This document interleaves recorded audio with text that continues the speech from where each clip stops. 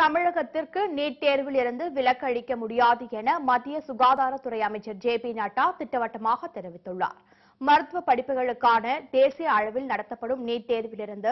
தமிழகத்திற்கு விலக்கு அளிக்க வேண்டும் என சட்டசபையில் சட்டம் நிறைவேற்றிய குடியரசுத் தலைவர் ஒப்புதலுக்கு அனுப்பி வைக்கப்பட்டது ஆனால் மசோதாவுக்கு குடியரசுத் தலைவர் ஒப்புதல் அளிக்கவில்லை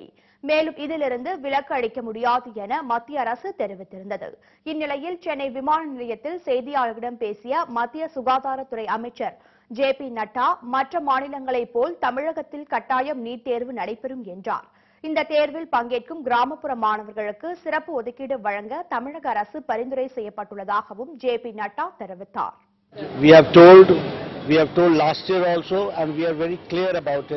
that NEET is to be implemented. The bill which had gone for the President assent, they have asked to Ministry of Home Affairs for our comments and we have given the comments that NEET is a uniform entrance eligibility examination test which has given very good results and we should go for